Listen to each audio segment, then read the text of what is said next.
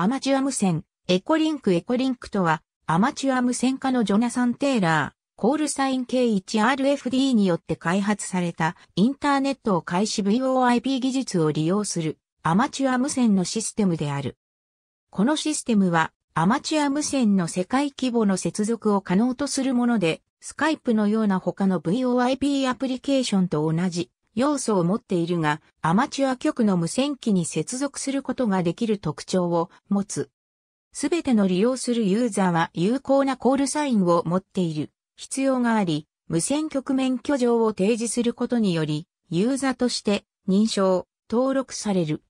QSL カードやコールブックの複写は受け付けられない。エコリンクを利用するアマチュア無線家は次の2つのモードで運用することができる。シスオペモードのエコリンク局の電波の届く。範囲内であれば、エコリンクソフトウェアやインターネットに接続できる。コンピュータを持たない。アマチュア無線家もエコリンク、ネットワークを利用できる。シスオペモードで稼働する。エコリンク局を既存のレピータに接続することもできるので、さらにアマチュア無線通信の可能性が広がる。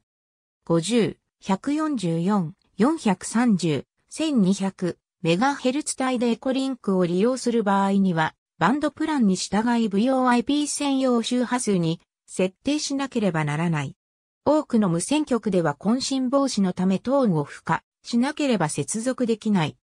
VOIP 専用周波数では、エコリンクの他ワイヤーズ、2、EX、ARP などインターネットを介して音声等の伝送を行う通信が認められている。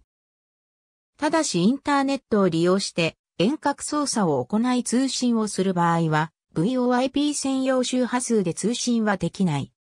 MacOS や Linux で動作するエコリンクと互換性のあるオープンソースのパッケージも利用可能であるが、2007年2月現在、デスクトップのアプリケーションとしては、Windows 版のオリジナルソフトウェアと比較すると機能に制限がある。シスオペモードだけで運用するのであれば、Linux 用のスフックスリンクサーバは有効な選択肢である。スフックスリンクは豊富な機能を持つこと、オープンソースであることから、新しい機能を付加することも容易である。エコ ARP とは、ARP システムにおいて、ARP ノードがシスオペモードのエコリンクとして稼働できるようにするためのアドオンである。参考、エコリンクソフトウェアはマイクロソフト Windows で動作するよう設計されているが、Linux のいくつかのディストリビューションにおいても Wine、エミューレータを使い動作することが確認されている。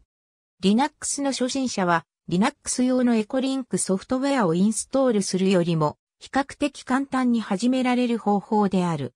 2010年2月に Apple の iPhone、iPad、または iPod Touch で動作するエコリンクが iTunes Store でリリースされた。